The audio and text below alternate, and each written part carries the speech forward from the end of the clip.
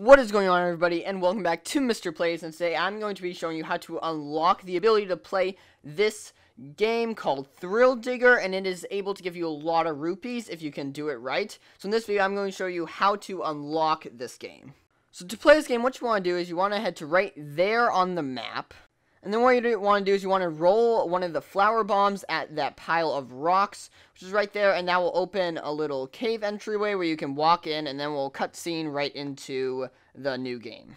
So when you enter, you'll talk to this guy, Tubert, and he'll say that he has this fun game that you can play called Thrill Digger, and you can choose either beginner, intermediate, or expert difficulty, and pretty much for beginner, it costs 30 rupees, intermediate costs 50, and then expert costs 70 rupees, and then you can choose to do the game, and you don't have to, but this is a great way to farm rupees if you have a good strategy, and you just go in, and to play the game, you have to dig up holes. You have to have the the mining gloves or digging gloves to be able to play this game.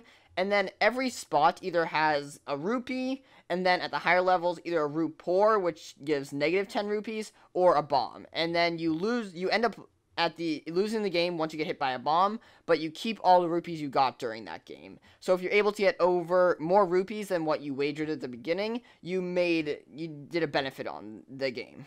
So if you want to get the digging mitts, then you just have to talk to this guy Knackle, who's right here on the map, and you have to defeat a bunch of Bokos in the room, and then he'll be so help helpful for you defeating all the Bokos. You get to choose either to get rupees or way forward, and if you choose a way forward, he will end up giving you the digging mitts, and then these help you or make you able to dig up all those spots in the game. And so that's how you unlock the Thrill Digger game, where you can get a lot of rupees, or lose a lot of rupees if you don't know what you're doing. But probably tomorrow I'll be coming out with a video on best strategies and best tips on how to play this game and uh, end up winning a lot of rupees.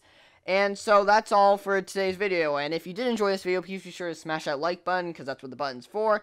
And also consider subscribing with notifications on if you don't, so you don't miss any of our Skyward Sword HD uploads. But until next time, peace!